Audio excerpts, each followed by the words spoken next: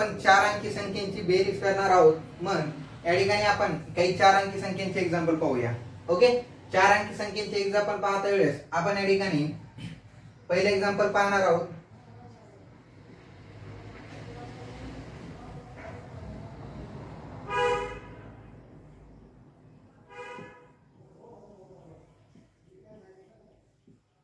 मी दोन एक्झाम्पल बोर्डवर दिलेले आहेत वरी. आणि खाली दोन एक्झाम्पल देतो. म्हणजे तुम्हाला या चार एक्झाम्पलमध्ये चार अंकी संख्यांची बेरीज करायला तुम्ही परफेक्ट होऊन जाताल. कशा पद्धतीने? मी चार एक्झाम्पल तुम्हाला एक्सप्लेन करणार आहे. त्याच्या व्यतिरिक्त तुम्हाला तुमच्या मनाने कोणत्याही चार अंकी संख्या घेऊन तुम्हाला प्रॅक्टिस करावं. मॅक्झिमम म्हणजे जास्तीत जास्त प्रॅक्टिस करायची आहे. ओके बघा या ठिकाणी. मी आता या साईडकडून बेरीज करायला सुरुवात करत आहे. तुम्ही या साईडकडून बेरीज करायला सुरुवात करायची बरेचसे विद्यार्थी इकडून करतात. या साईडकडून बेरीज करायला सुरुवात कधीच करत नसतात. लक्षात ठेवा. मग आठ आणि सात. आठ आणि सात किती होतात बेटा? आठावर आठमध्ये सात मिळवले. जर तुम्हाला अशा पद्धतीने जर समजत नसतील तर या ठिकाणी एक दोन तीन चार पाच सहा सात अशा सात रेषा मारून ठेवायच्या. आठमध्ये सात मिळवायचे. म्हणजेच नऊ दहा अकरा बारा तेरा चौदा आणि पंधरा. ओके प्रॅक्टिस होईपर्यंत तुम्ही कशाही पद्धतीनं जर तुम्हाला येतच नसेल ना तर तुम्ही शिकायला काही हरकत नाही. बिलकुल लाज शरम ऑटो द्यायची नाही. आपल्याला आपण एवढे मोठे झालो तर आपल्याला अशा रेषावर बेरीज करावं लागेल काही हरकत नाही. ती रेषावरच करावं लागत असते कोणालाही सुरुवातीला. तुम्ही उशीर केला ते तुमचा दोष. ओके परंतु सुरुवात त्याच्यावरच करावं लागते तर तुम्ही करा. प्रॅक्टिस केल्याच्यानंतर तुम्ही असं डायरेक्टली सात आणि आठ पंधरा चाला एक अशा पद्धतीने लिहू शकता काही दिवसामध्ये. फक्त प्रॅक्टिस करा. त्यानंतर बघा सात आणि सहा किती होतात? तेरा होतात. ओके सात आणि सहा तेरा. मग या ठिकाणी तेराशे तीन लिहायचे का? नाही. तेराशे तीन लिहिले तर चुकतील. आपला हातचा घ्यायचा विसरेल. म्हणजे हातचा विसरता कामा नाही म्हणजेच या ठिकाणी सोयीस्कर होण्यासाठी हातचा एक आणि सहा किती होतात? सात. सात आणि सात चौदा. हातचा आला पुन्हा एक. ओके? हातचा एक काय येतो माहिती का? नाही तर तुम्ही म्हणता सर तुम्ही हातचा ठेवत चाललात ठेवत चाललात.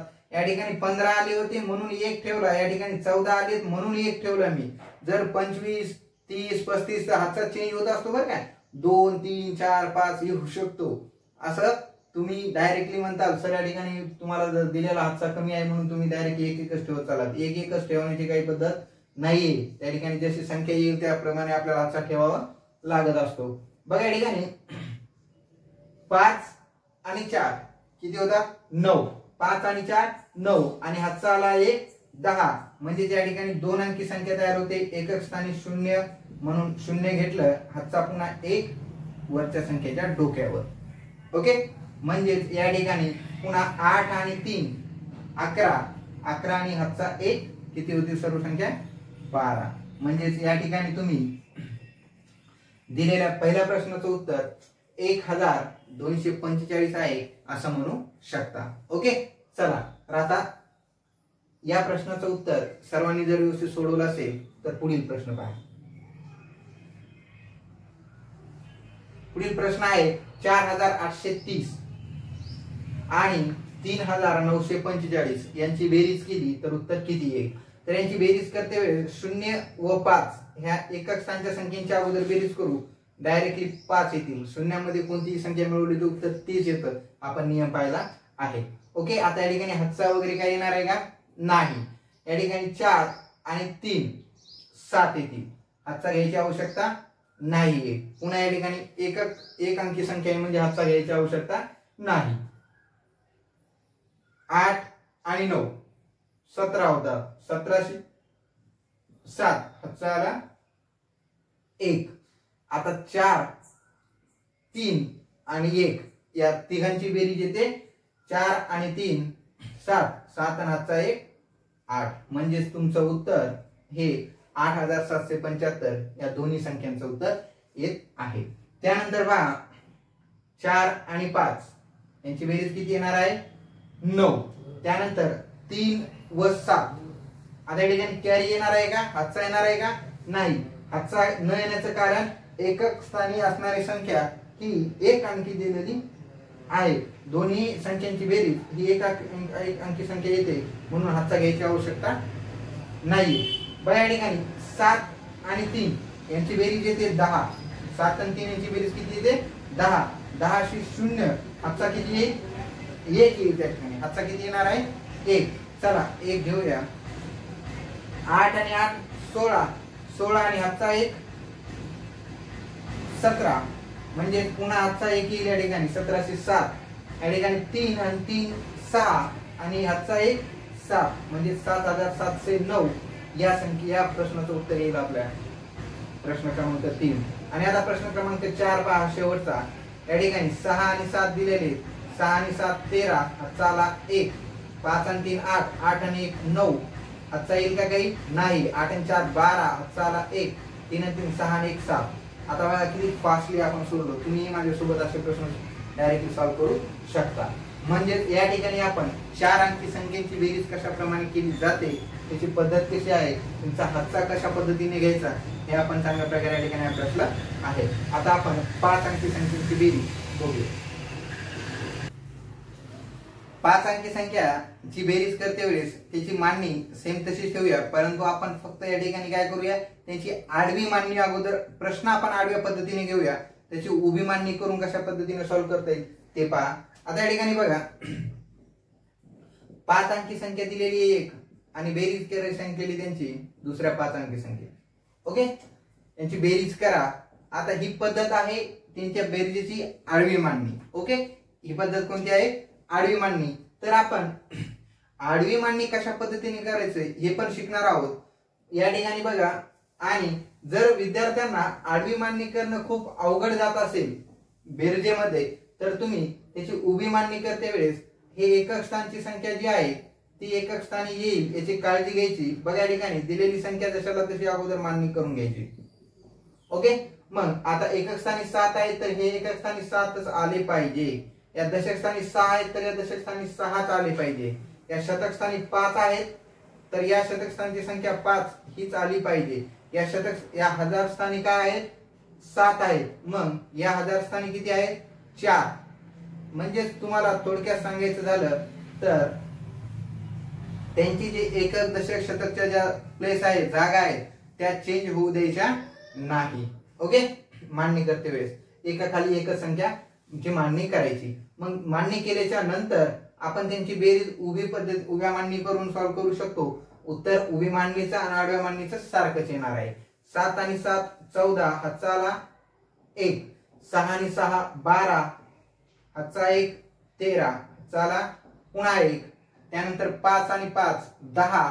आणि पुन्हा त्यामध्ये हातचा एक घेतला अकरा. म्हणजेच या ठिकाणी पुन्हा एक हातचा येईल. हातचा एक आल्याच्यानंतर सात आणि चार. सात आणि चार. ज्यावेळी सात असतात आठ नऊ दहा आणि अकरा. किती होतील? अकरा. आणि हातचा एक घ्यायला विसरायचा नाही. किती होतील मग? बारा. पुन्हा एक हातचा या ठिकाणी येईल बाराचा. म्हणजेच या ठिकाणी हे बारा आहेत. हे दोन या ठिकाणी घेतले हा एक हातचा वरती. म्हणजेच बारा या संख्येचा एक हातचा वरी आल्याच्यानंतर आठ आणि तीन किती होतील? अकरा होतील. अकरा आणि एक बारा. म्हणजेच या ठिकाणी पुन्हा बारा ही पूर्ण संख्या लिहायची कारण की पुढे बेरीज करायला पुढे कोणत्याही प्रकारची संख्या दिलेली नाहीये.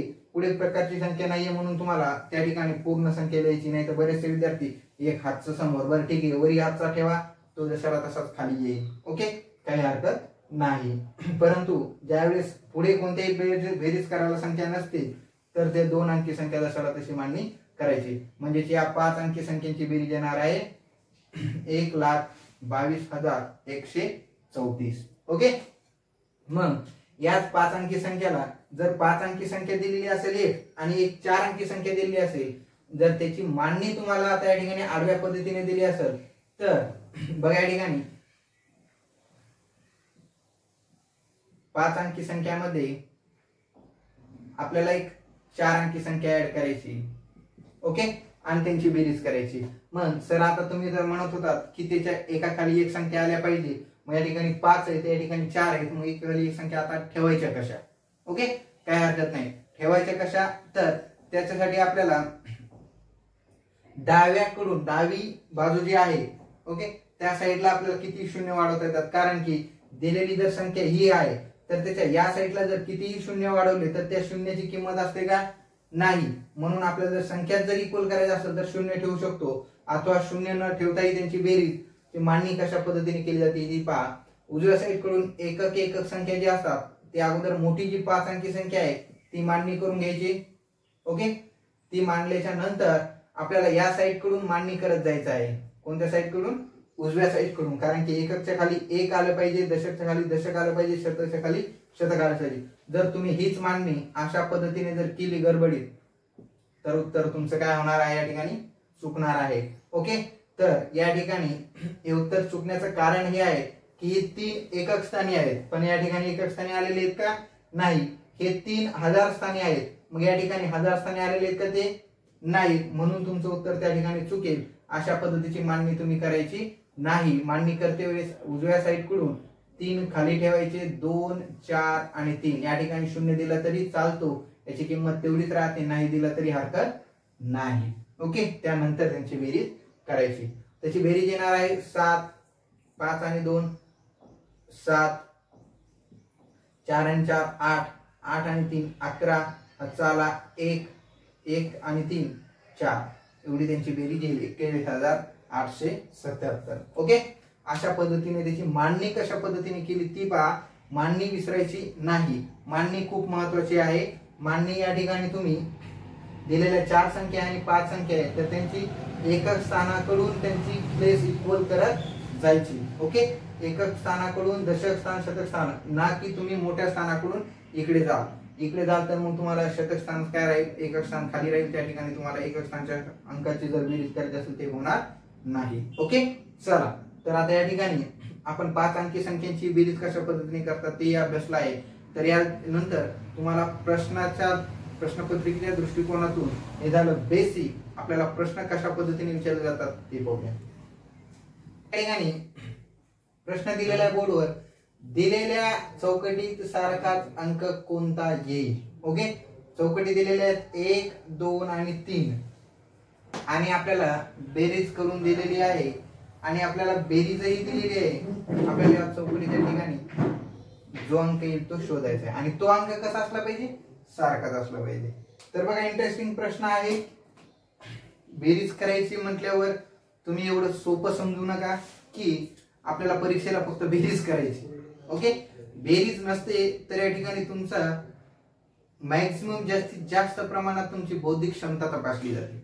ओके बौद्धिक क्षमता कशा प्रकारे तपासली जाते? तर तुम्हाला यासारखी वेगवेगळे व्हरायटीचे प्रश्न तयार करून तुम्हाला त्या ठिकाणी त्यांची मांडणी करून तुम्ही त्यावर किती खोलपर्यंत विचार करू शकता हे त्या ठिकाणी तुमचं चेक केलं जातं. आणि त्यासाठी खूप कमी वेळ असतो. ओके कमी वेळात तुम्हाला जर असं सर्व फाईन करायचं असेल त्या ठिकाणी तुम्हाला ट्रिक्स माहीत असणं खूप गरजेचे आहे. आता ट्रिक्स म्हणजे नेमकं काय?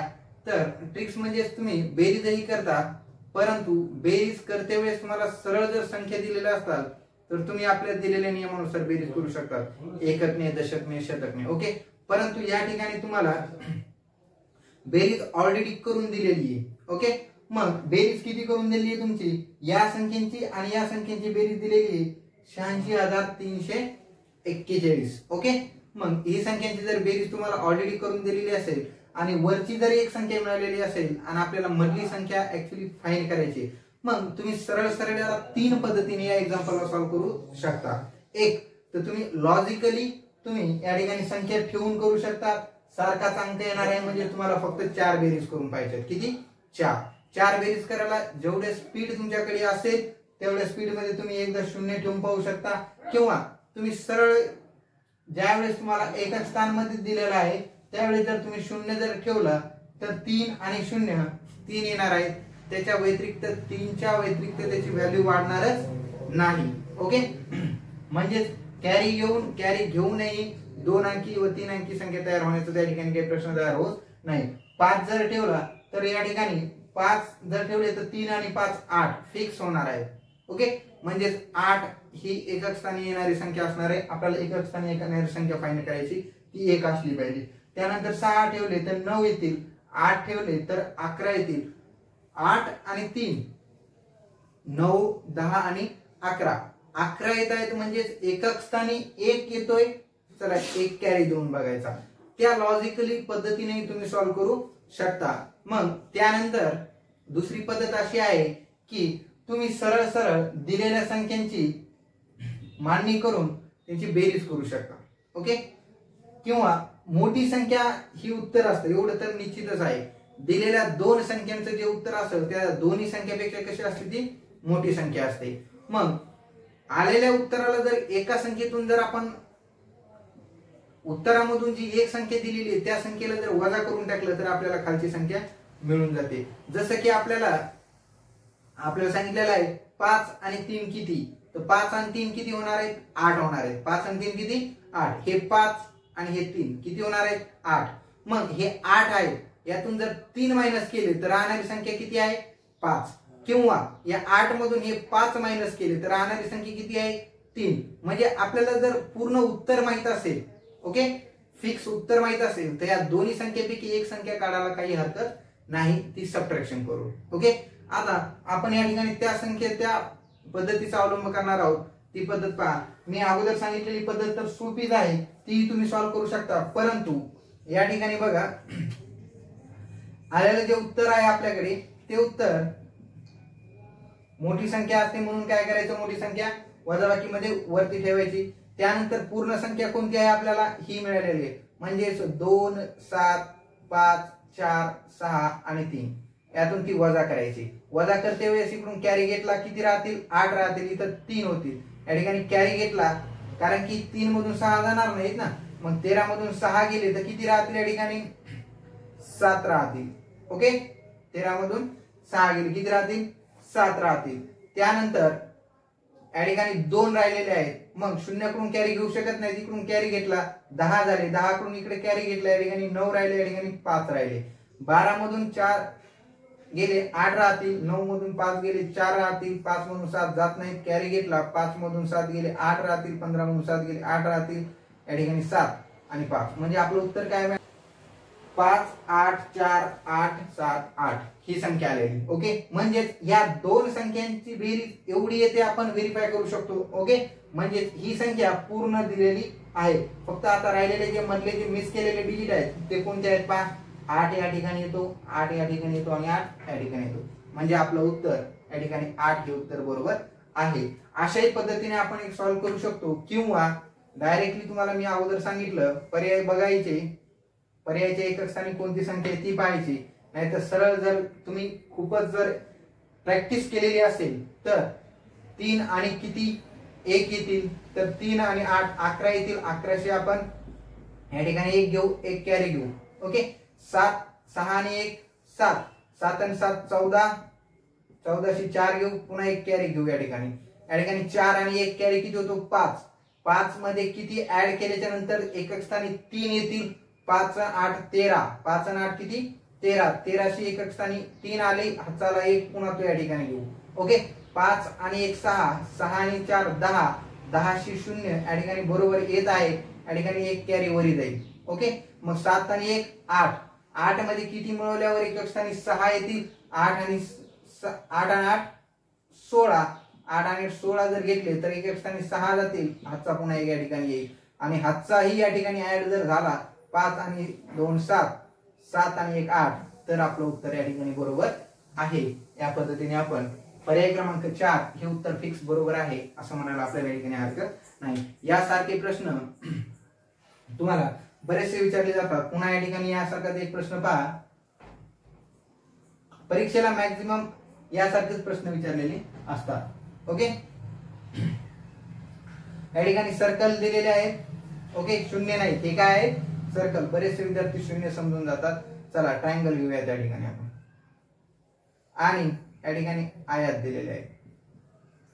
त्यांची बेरीज करून दिलेली आहे नऊ नऊ नऊ. ओके? तर ट्रायंगल व स्क्वेअर या ठिकाणी कोणते अंक येतील? ओके अशा पद्धतीचा प्रश्न तयार करून दिलेला असतो. मग तुम्हाला दिलेल्या ज्या संख्या आहेत त्या तर आपल्या या ठिकाणी इथं सगळ्या संख्या काय केल्या आहेत? अनविजिबल आहेत. विजिबल आहेत का त्या? नाही. मग दिलेलं उत्तर तर आपल्याला माहीत आहे. मग कोणत्या दोन संख्येची बेरीज नऊ येते हे ठिकाणी आपल्याला पर्याय दिलेले असतात पहा या ठिकाणी. पर्याय काय दिलेले आहेत?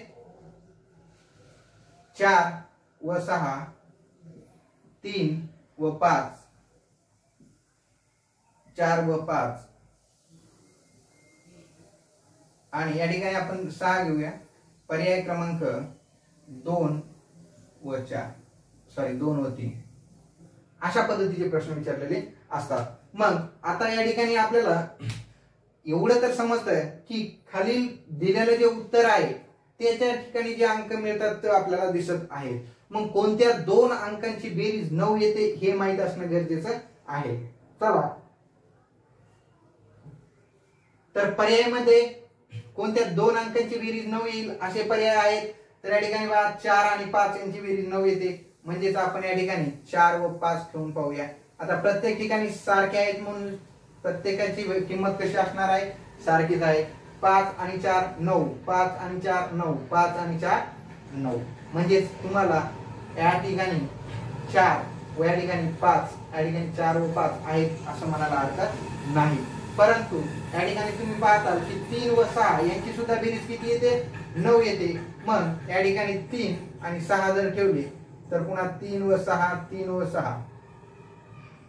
यांची ही बेरीज काय येत आहे? नऊ येत आहे. म्हणजेच तुमचं पर्याय क्रमांक तीन व दोन हे दोन्ही उत्तर कसे आहेत?